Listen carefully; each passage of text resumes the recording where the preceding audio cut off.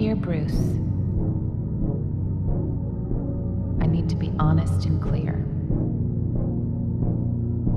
I'm going to marry Harvey Dent. I love him, and I want to spend the rest of my life with him. When I told you that if Gotham no longer needed Batman, we could be together, I meant it. But now I'm sure the day won't come when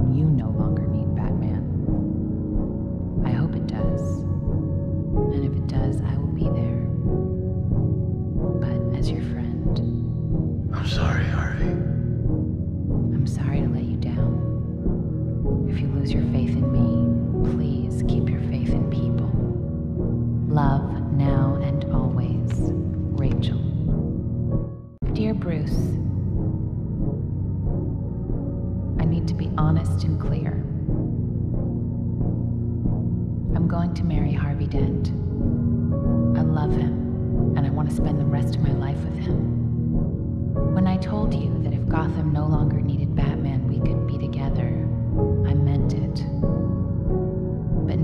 Sure the day won't come when you no longer need Batman. I hope it does. And if it does, I will be there. But as your friend.